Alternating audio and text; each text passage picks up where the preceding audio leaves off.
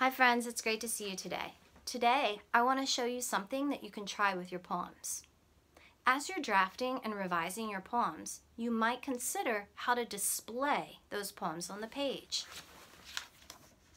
Some things to consider are how do you want it to look, how do you want it to sound, and what's your message? These three things will help you decide how to display it on the page. Let me show you what I mean. Douglas Florian wrote this poem, Seashells. As you can see, he made the poem a shape poem. It looks like a seashell. Let's read it, and as we read it, think, how does it look? And how does it sound as I read it? And does the words and the shape help the meaning? Let's check. Seashells. Seashells scattered on the shore swept there by the ocean, once held creatures deep inside, creeping in slow motion. Empty seashells cannot creep, cannot leap or reach, but all day long they whistle songs, retired on the beach. Hmm, think about how Douglas Florian displayed his poem on the page. He made it a shape, and he put one word per line, which made a difference in how we read it. Hmm, let's look at another example. This poem is by Kelly Dakos. As we're reading it, think, hmm, how did she display it on the page? I live for gym. I live for gym.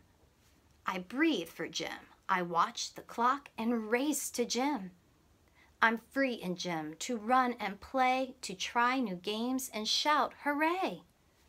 It's in the gym I feel so good. I'd live there if I only could. Have gym the whole day through, why then I'd always dash to school. Hmm, what are you noticing about how Kelly Dakos has displayed this poem on the page? Hmm, she was really thinking about how did she want it to look, how did she want it to sound as the reader read it? And how to contribute or support her message? Let's give it a try. As we try out on two of my poems, be thinking, how do we want it to look? How do we want it to sound when our reader reads it? And is it supporting our message? This poem is about a roller coaster, kind of like life. Sometimes life is like a roller coaster roller coaster, roller coaster. It twists you around, up and down, roller coaster, roller coaster, roller coaster. Hmm.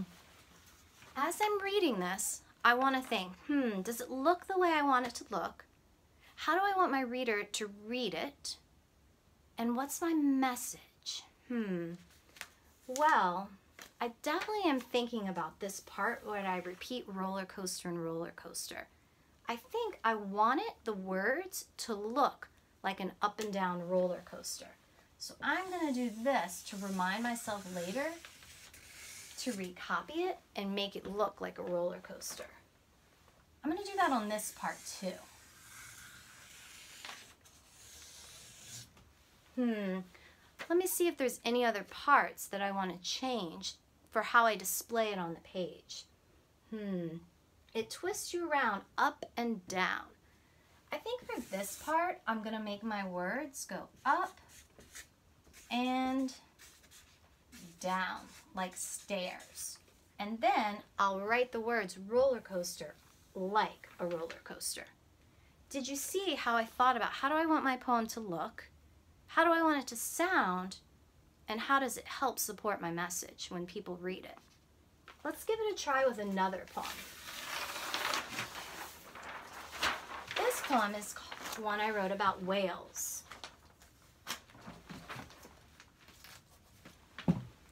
Hmm, let's see. As we're reading it, think, hmm, do we want to think about how we display it on the page? How does it look? How will it sound when people read it? And does it support my message?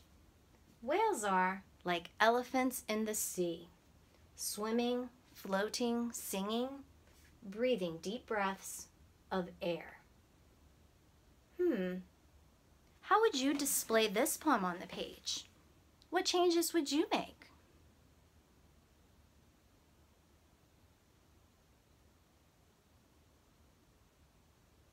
Hmm, you might think about this part whales are like elephants in the sea. You may want to add some line breaks. For me, when I think about these parts, swimming, floating, singing, I definitely want to put those on separate lines and put line breaks. So it might look like this. Swimming, floating, singing.